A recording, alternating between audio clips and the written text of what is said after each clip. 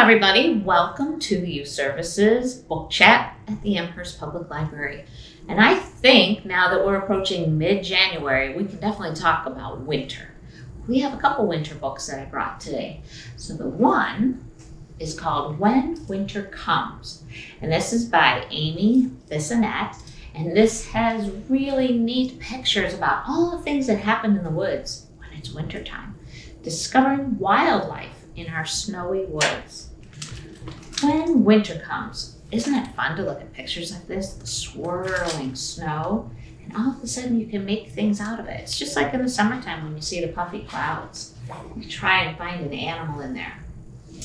When winter comes, and deep snow blankets the woods, and ice forms cold and smooth on the lakes, thick enough for us to skate on. Some people think our woods are empty, but we know better. And if you want to find out how we know, come look at all these pictures. Read all the words about what happens in the wintertime. All different things that happen underneath the blanket of snow. Come check out When Winter Comes. It's Discovering Wildlife in Our Snowy Woods by Amy Bissonette. And then I found this fun one called Once Upon a Winter Day. Have you ever tried making up a story all by yourself? You can do that with this book. This is by Liza Woodruff, and she shows some of the cool prints that are in the winter time snow. Look at that. Milo bundled up and plotted outside. He didn't want to play in the snow. He wanted a story. And so he made it up with his adventure. As he stumped a path from the house to the bird feeder, beneath the feeder, tiny prints were sprinkled around the ground. Bet a mouse was here, he thought.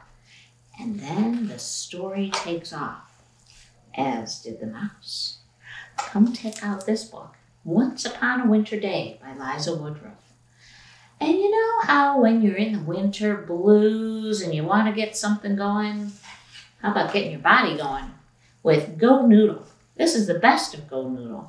These songs are great, and if they don't get you moving, nothing will. Gotta have fun in the wintertime and keep active. That's what this will help you do.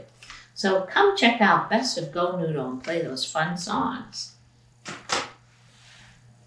And if you're really looking for something special to do, ask your parents or grown-ups, what about a soup kitchen?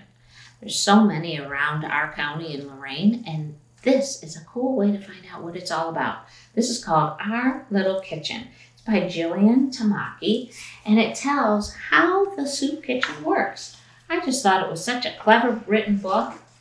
And this is what happens when they come into the soup kitchen. This is mom and the little boy. And then they visit the people that run the soup kitchen. And it talks about how they all pitch in to make things all come together so that people can be fed that maybe not have a good meal sometimes if it weren't for the soup kitchen. So come check out our little kitchen and find out all the pleasant little treasures that a garden can help bring to other people by Jillian Tamaki. Well, it's been good seeing you. Come see us at the Amherst Public Library. Bye now.